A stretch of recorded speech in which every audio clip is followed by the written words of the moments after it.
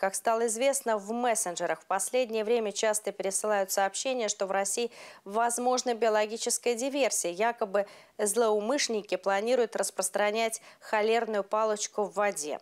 Этим обеспокоились и жители Тверской области, а наша съемочная группа обратилась за комментарием в региональный Роспотребнадзор. В ведомстве заверили, что информация относится к разряду фейковой. Об этом рассказывает наш корреспондент.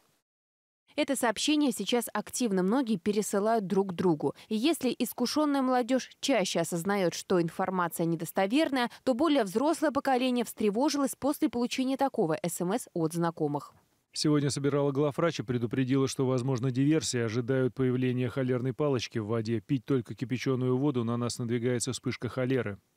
Перед нами старый фейк, который уже почти на протяжении последних двух лет вирусится, в отличие от болезни, в разных регионах страны. В сообщениях используются идентичные тексты, меняется лишь география распространения холеры. Но ни в России, ни в Верхневолжье вспышек холеры зафиксировано не было. В Роспотребнадзоре по Тверской области опровергли информацию о существовании биологической диверсии в регионе. Эта информация является недостоверной. Управление Роспотребнадзора по Тверской области, как и в других субъектах, а, постоянно проводит мониторинг качества питьевой воды на соответствие микробиологических, вирусологических, санитарно-химических показателей.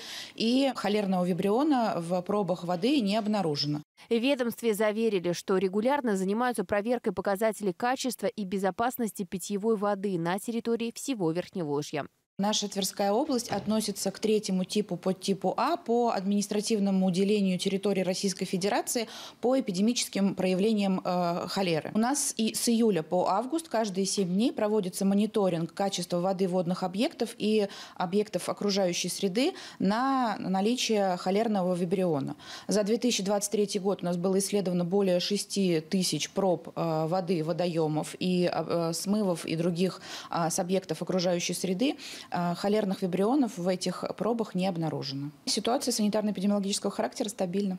В России уже много лет не было массовых случаев заболевания холеры, поэтому опасаться ее не стоит. Но при этом старое правило «мойте руки перед едой» никто не отменял.